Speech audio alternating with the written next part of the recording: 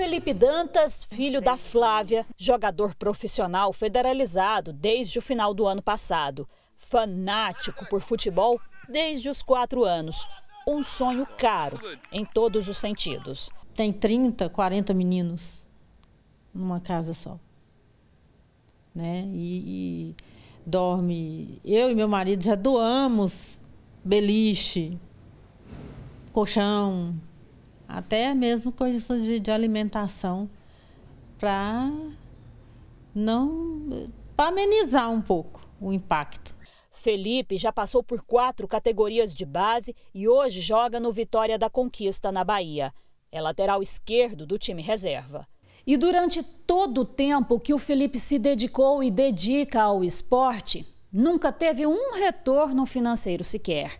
O pagamento para esses meninos que buscam um lugar ao sol é a esperança. Eles se apegam a uma mínima chance de, quem sabe, um dia fazer parte do time profissional. Por viajarem muito, muitos acabam deixando os estudos para depois.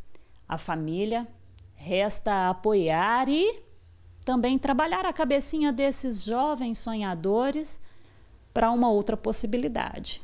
Qual seria? A de não dar certo, né? Tem que ter o plano B, sempre. Sempre isso na cabeça.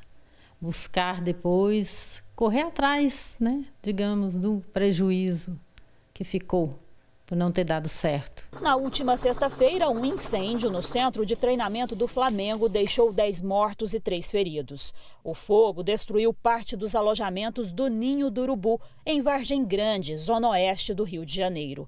As vítimas eram atletas da base do time e tinham entre 14 e 16 anos. A notícia da tragédia trouxe aflição ao coração de mãe, que, ao saber da notícia, ligou para o filho a estrutura lá tá legal, tem segurança, tá seguro lá.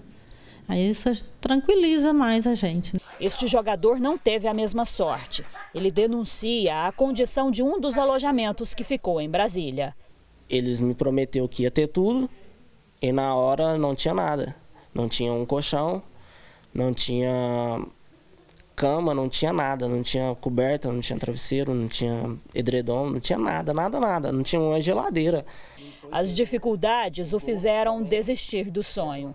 E como muita coisa só muda depois de um depois, a mãe do jogador Felipe Dantas espera que agora a situação dos jogadores de base seja encarada de maneira diferente. Cadê um direitos humanos que nunca passou num lugar desse? Esperamos que esse sonho não se torne um pesadelo.